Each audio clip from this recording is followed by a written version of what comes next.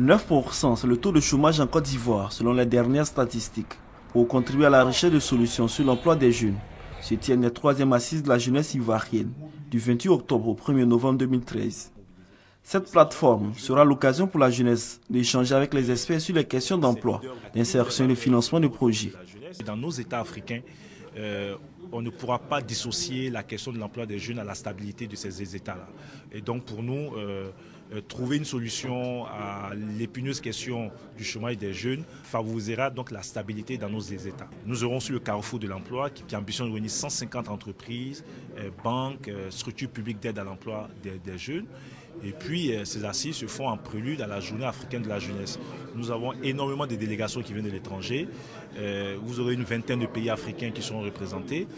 Les troisième assises de la jeunesse ivoirienne auront pour thème une jeunesse, des emplois et un avenir de paix.